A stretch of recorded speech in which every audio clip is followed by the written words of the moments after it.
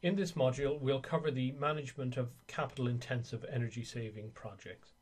The aim is to ensure that viable projects are not turned down at the initial stage of evaluation based solely on the investment required without an appreciation of the potential savings and the economic Im- impact on the business. Improvements involving technical changes usually require investment. Often walk through energy audits identify several ECOs requiring investment, and ballpark figures on investment and savings are estimated. These ECOs will be placed on the agenda of a management review to decide on further action. Once an ECO is regarded as viable and approved, it's upgraded to an energy saving project. It will be included in the next action plan. The first step is a detailed energy audit to derive precise investment and savings figures so that top management can decide whether to advance towards implementation. This slide demonstrates the overview of a walkthrough and detailed energy audits.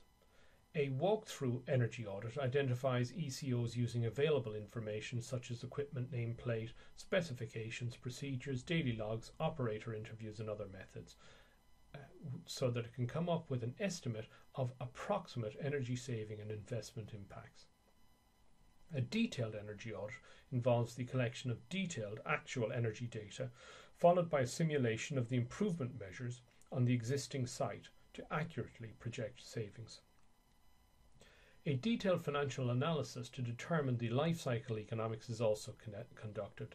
This will provide critical information to the management in evaluating investment viability. Energy saving projects following detailed energy audits are conducted in parallel with energy system operations intended to deliver continual improvements in performance. The detailed energy audit is part of the implementation phase of the energy management system's goal of continual performance improvement. A detailed energy audit meters energy use to obtain specific data and information, which is then processed and analysed to establish the technical viability and practicality of the proposed energy saving project.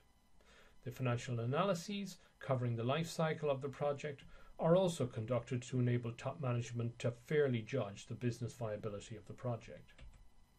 The objectives of a detailed energy audit are to use current and raw data to test the practicality of the project, to determine the viability of the technology, to specify an implementation method and the expected output, to analyze the financials and the project's life cycle economics, and to define the project for implementation. Following the detailed energy audit, the results are reported to a management review. During the review, the investment and implementation plan are evaluated and a go or no go decision is reached. Once approved, the proposal becomes an introduction of a capital intensive energy project. So, in summary, as part of an energy review, a walkthrough energy audit is conducted that identifies ECOs with technical aspects requiring investment. The ECOs are identified using available information such as equipment nameplate, specifications, procedures, daily logs, operator interviews, and other methods that allow approximate energy savings and investment impact to be estimated. The audit findings are presented as an implementation recommendation to the management review. Once the recommendation is approved, it's upgraded to an energy saving project for further viability study and a detailed energy audit. Detailed energy audits collect actual energy data to simulate the improvements to accurately project savings. A detailed financial analysis to determine the life cycle economics is also part of that audit.